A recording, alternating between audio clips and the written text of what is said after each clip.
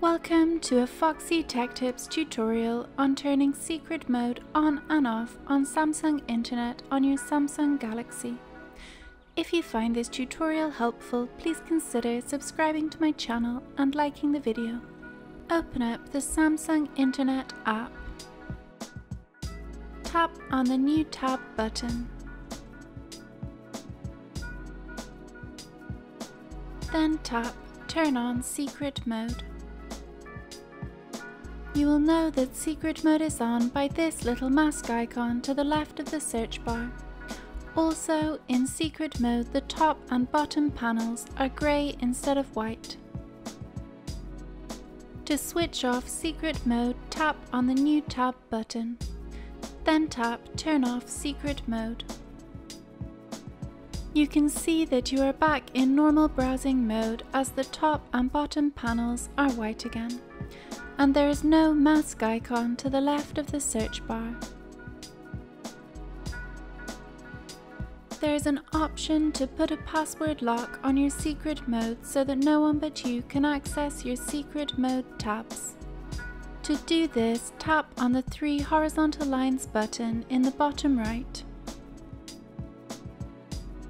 Then tap Settings from the menu that appears. Scroll down the settings and tap on Privacy and Security.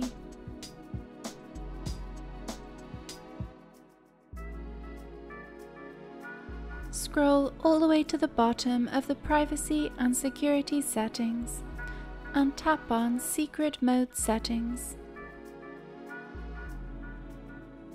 Switch the toggle on to the right of Use Password. Create your password using four characters and one letter.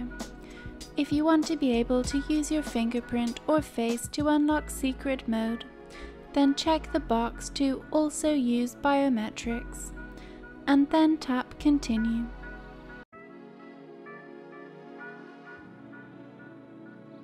Type in your password again to confirm it and then tap OK.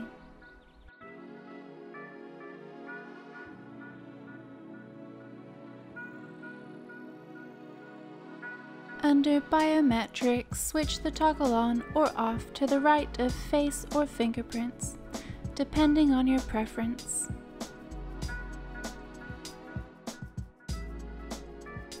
The next time you try to open secret mode you will have to enter your password or scan your face or fingerprint.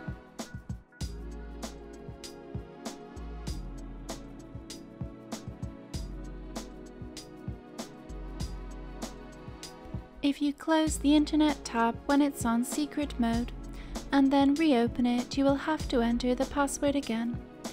Or you can tap Turn off secret mode to use the regular Internet instead. And that draws an end to this tutorial.